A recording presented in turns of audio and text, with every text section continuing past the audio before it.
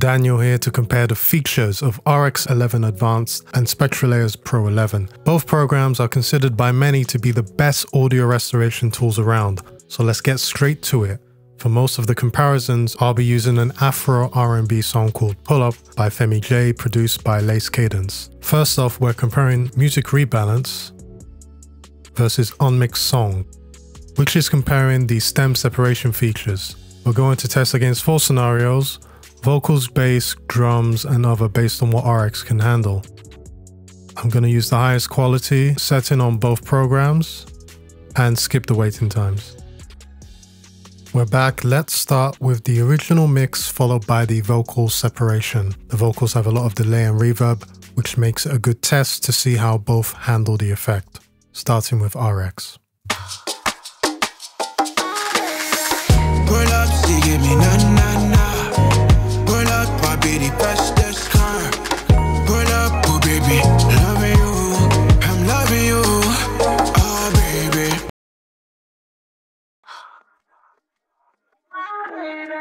Pull up, see, give me na na na. Pull up, my baby, the car. Pull up, oh baby, loving you, I'm loving you, oh baby. Pull up, see, give me na na na. Pull up, my baby, press the car. Pull up, oh baby, loving you, I'm loving you, oh baby.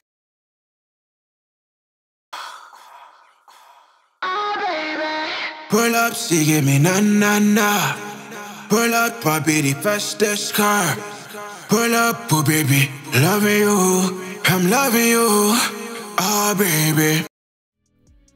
There is a bit of bleed from the percussive elements of the song in the vocal from both stems. In my opinion, Spectralayers does capture the reverb and delays slightly better with less background noise and sounds a little closer to the original with slightly less artifacts. Let's check the bass now.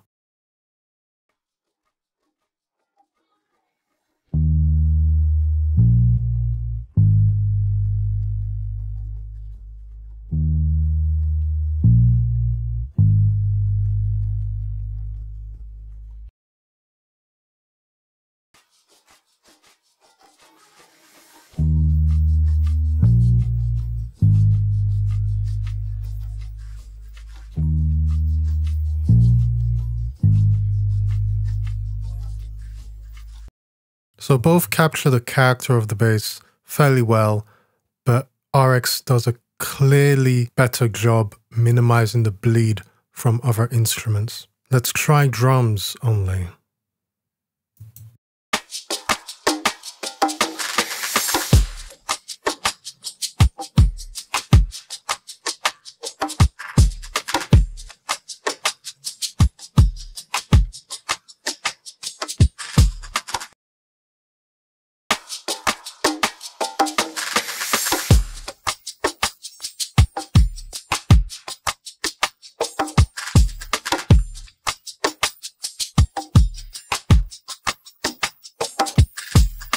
Once the kick drum hits, both stems suffer from a high cut and general smearing of the transients. Spectralayers does have resonant frequencies around the 6 to 8 kHz range, which sticks out to me. Both only do a passable job for this particular song. Finally, let's check the other category.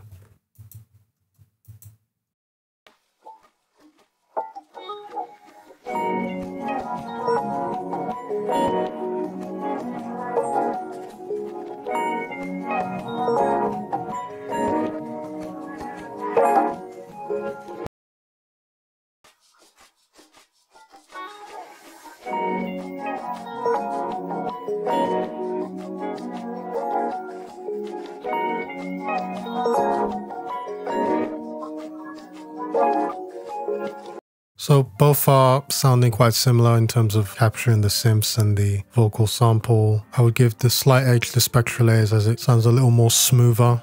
Let's now test the DeReverb module. We've got the original vocal processed stem that we heard earlier and maybe I want the stem dry for additional processing. Let's see how both fare in this scenario. In RX, we've got the vocal stem highlighted and we click on DeReverb, click the Learn button, and I'll leave the defaults and render.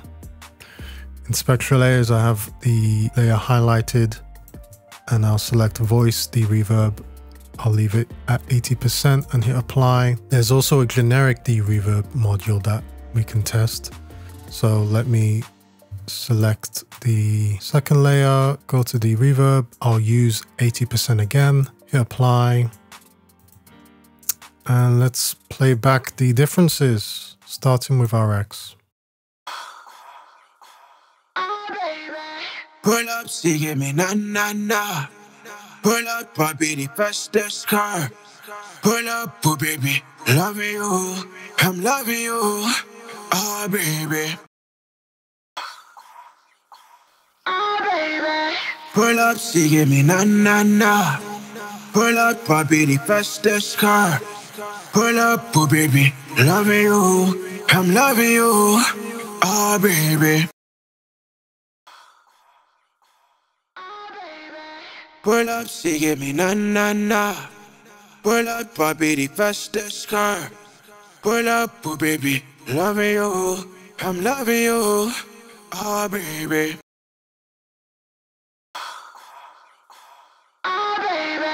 Pull up, see, give me na na na. Pull up, I'll the fastest car. Pull up, oh baby, loving you. I'm loving you, oh baby. The Spectralayers voice DeReverb does reduce the reverb better than the rest of the options, but all still affect the vocal quite significantly. Let's pivot then to the declip modules. Say we're dealing with a terrible vocal recording where it's clipped beyond belief. Let's see how both tools tackle this. In RX, I'm going to click and drag the section in particular, click the declip module, click suggest, and ensure that the quality is set to high and render. And close that. And in Spectralayers, I'll select this particular layer, select declip, click the suggest, hit apply, and I'll check this alternative layer and try out the voice declip module. I'll reduce the reconstruction ratio to about 80 and keep the limiter and hit apply. So let's hear the original first followed by the attempts of both. This audio is clipping. This audio is clipping. This audio is clipping. This audio is clipping. So I do think RX's declip is superior, at least for this particular example. The original declip module from Spectralayers does sound better than the voice declip, which is surprising. Let's compare RX Deconstruct versus Spectral Layer's Unmix Components. This is based on separating sound into tonal, transient and noise, which can be used as an alternative way to reduce noise or shape transients for example. I'll use this against the instrumental and we can hear how both split the audio. In RX, open Deconstruct and use the faders to hear each individual component. In Spectralayers, with the layer highlighted, we just go to Unmix Components, we'll have non-destructive mode and hit apply. The FFT size does have an impact in the quality of the separation in Spectralayers. The spectrogram in both programs has been set with an FFT size of 8192 samples as shown here. So we'll test individually. So I'll put this to infinity and preview the tonal element in RX first.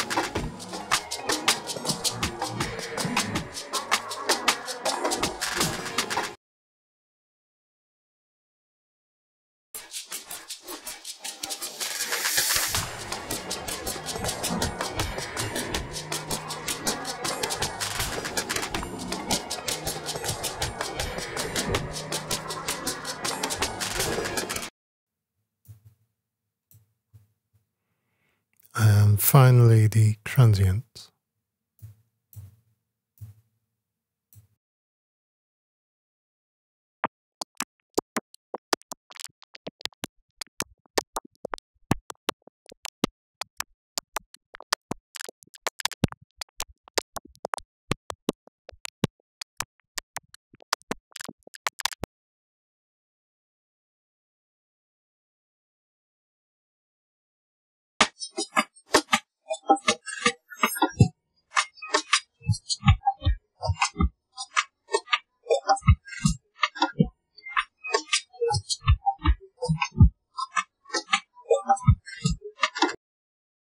Terms of which sounds closer, it really depends on what you're looking for. I think RX is doing a better job in the transient with noise and the tonal aspect is debatable. Spectralayers does have the advantage of being able to split them into separate layers for further processing, which is a little more cumbersome to achieve in RX. Finally, let's have a look at the MSRP of both. So going on both websites, Spectralayers Pro 11 is selling for £254.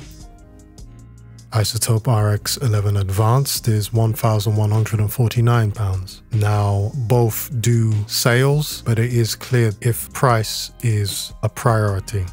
I've also made a Google Sheet comparing over 70 features across RX 11 Advanced and Spectralayers Pro 11. You can check it out by signing up to my email list, leave a comment on which tool you preferred. All in all, take care.